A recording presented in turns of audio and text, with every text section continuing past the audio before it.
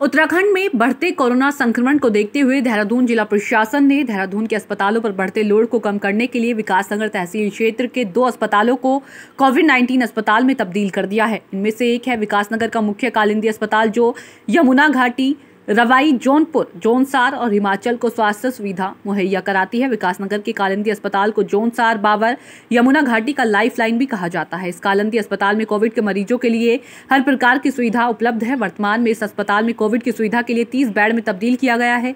Hospital प्रबंधक से पूछा गया, जब इस संबंध में अस्पताल प्रबंधक से पूछा गया तो उनका कहना था कि हमारे यहाँ कोविड नाइन्टीन के लिए पर्याप्त सुविधा उपलब्ध है और उनके खाने रहने की भी सुविधा अस्पताल मुहैया करा रहा है और कोविड मरीजों का निःशुल्क इलाज किया जा रहा है और कालिंदी अस्पताल में ऑक्सीजन की कोई कमी नहीं है। कोविड अस्पताल की श्रेणी में थोड़ा सा रखा गया है जिला प्रशासन ने व्यवस्था किया। क्या कहेंगे क्या क्या सुविधाएँ हैं? ये देखिए ये देश के ऊपर एक नेशनल इमरजेंसी आई है है ना? तो इसमें मजिस्ट्रेट साहब ने हम लोगों को भी अपॉइंट किया है इस एरिया के जो लोग हैं उसको कोविड पेशेंट हैं उनका इलाज करने के लिए।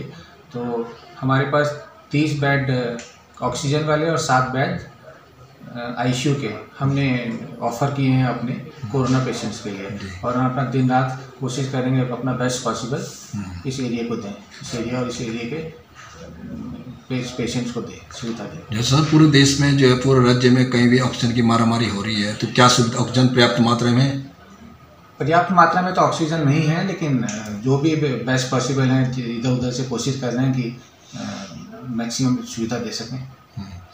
तो आपको राज्य सरकार से कुछ ऐसी जैसे यहाँ पे कोविड को किया गया है तो कुछ ऐसा देंगे गवर्नमेंट कुछ? राज्य सरकार भी बेचारे बहुत सपोर्ट कर रही है इसमें कोई डाउट नहीं है। उन लोगों ने हमको कंसनट्रेटर ऑक्सीजन कंसनट्रेटर दिए हैं कुछ हम्म। और भी कुछ देने का वायदा किया है। उसमें ऑक्सीजन कंसनट्रेटर में ऑक्सीजन की ज़रूरत नहीं होती वो ऑक्सीजन खुद जनरेट करते हैं।